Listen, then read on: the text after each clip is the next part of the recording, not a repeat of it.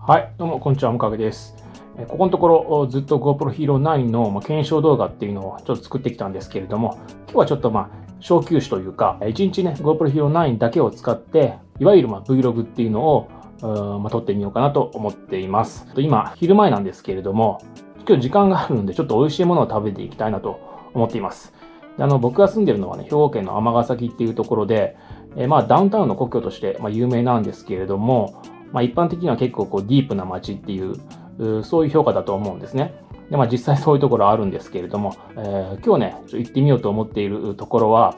まあそのディープな街の中にあってもね、ひときわこうディープなところなんですね。で、だけれども、あの、めちゃくちゃ美味しいところなんで、早めの昼ご飯をちょっと食べてこようかなと思っています。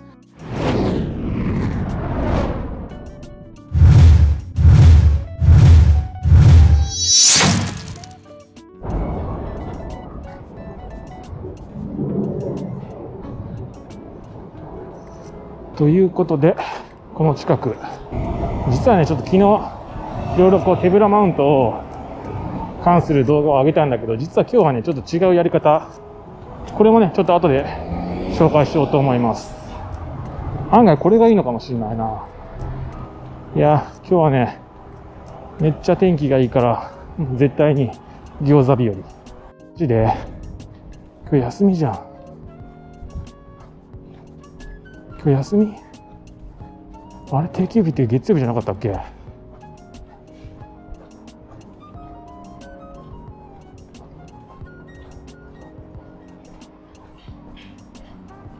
秘宝。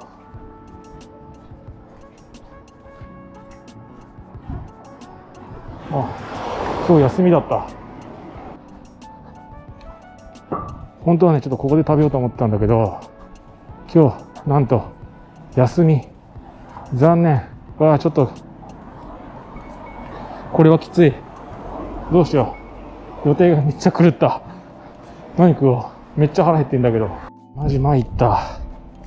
どうやらね、時々火曜日も定休になるみたい。いやー、ちょっと、今日も餃子食べる気満々だったのにな。どうしよう。ちょっと、この辺で探します。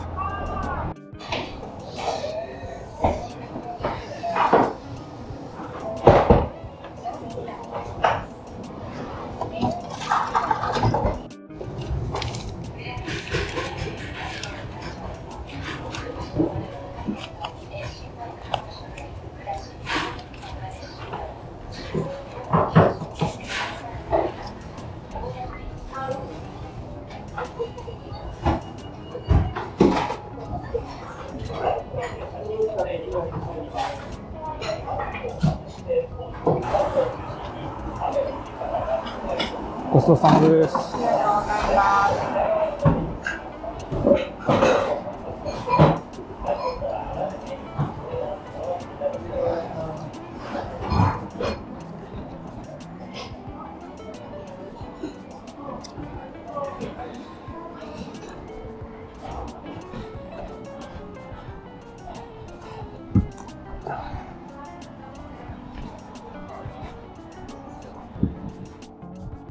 はい、ということでね、あの、目標にしてた中華料理屋が閉まってたんで、急遽、急遽、讃岐うどん食べてきました。あの、ほのかの讃岐うどんも、この辺一帯ではね、すごく有名なところでめっちゃ美味しかった。ただね、やっぱ今日は、あの、今日全然人と会う予定がなかったから、昼間からちょっと餃子食べたかったんだけど、叶わず。いや、めっちゃ残念。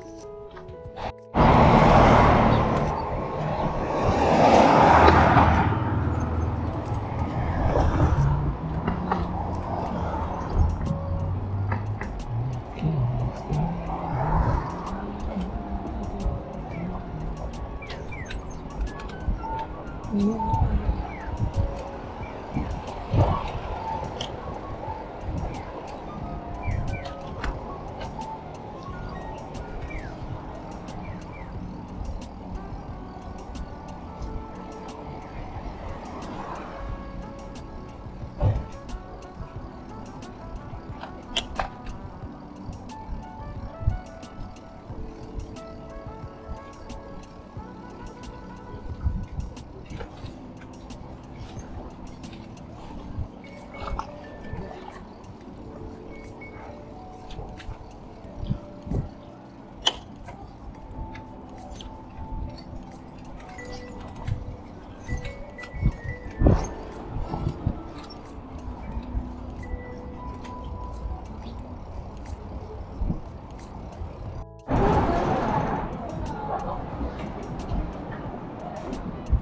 ちょっと油を補給。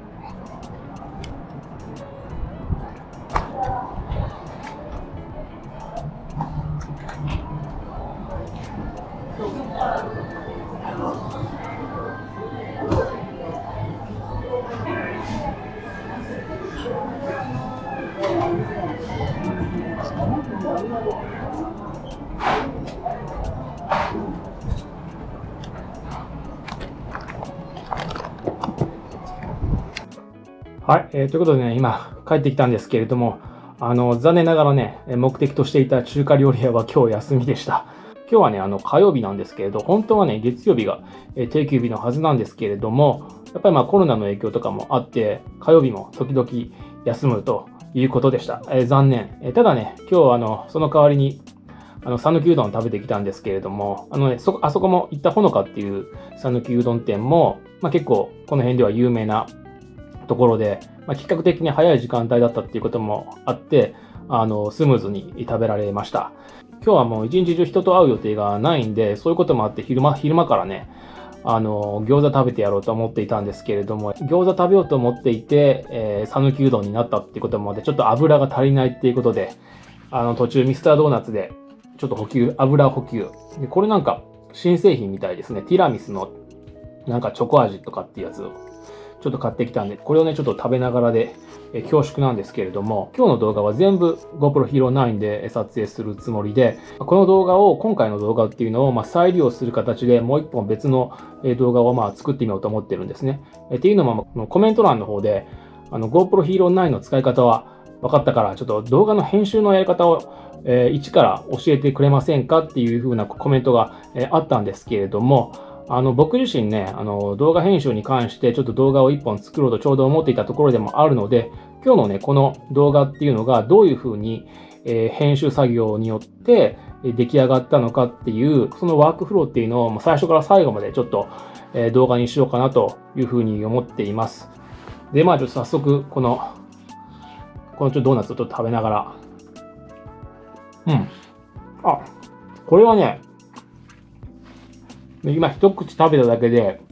僕が好きな味っていうの分かりました。あの、僕あのミスタードーナツ行くと必ず買うのってオールドファッションなんですけど、この生地はね、結構オールドファッションに近い、あの、しっとり系の。で、上に生クリーム。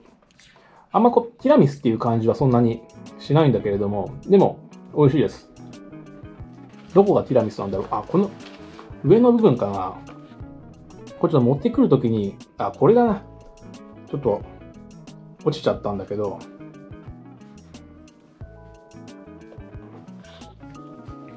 うん。あの、本当はね、この上のところにゼリーみたいなのが乗ってるんだけど、それが僕ちょっとここまで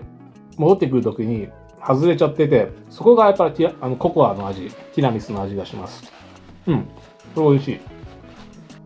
これこれ。ちょっと食べか、食べかけで恐縮ですけれども。美味しい美味しい。で、あの、もう一点ちょっとアップデートなんだけれども、先日、えー、GoPro Hero 9を使った手ぶれ、手ぶら撮影、手ぶらでね、フリーハンドで、えマウントする際、えどれがまあ最適かっていう検証を行ったんですけれども、あの、あれはま前提としてこう、リュックを背負うっていう、えー、そういうのを前提に、えやった検証なんですけれども、今日はね、実は、あの、このリュックじゃなくて、これ、ボディバッグを使って、まあ、外に出ていたんだけれども、それに関してはね、このクリップ式がめっちゃ良かった。うん。ここにね、こう、クリップさして、わかるかな？今使ってる、今あの GoPro Hero 7を使ってますけれども、わかるかな？こういう感じ。これがね、結構安定性があって、えちゃんとこう、体にフィットしているっていうこともあって、そうだからまあ散歩なんかでは、リュックを背負うよりもね、こういうボディバッグの方が、あの、取り回しも効くっていうこともあって、案外散歩撮影ではこのタイプ、このボディバッグにクリップ式っていうのが最適解かもしれないっていうふうに、今ちょっと思っています。ということでね、今日はまあ、え食べたかった餃子が食べられなかったっていうことが1点と、と、もう一点は、まあ、今回のこの動画っていうのが、まあ、どういうふうな編集作業を通して作られたのかっていうことの、一部始終っていうのをまた別の機会に動画にしようと思っています。でちなみに今僕が使っている編集ソフトっていうのは DaVinci Resolve です。えー、ということでね、えー、その点ちょっと興味のある方は、えー、もしよければチャンネル登録よろしくお願いします。それでは今日はこの辺でおむかげでした。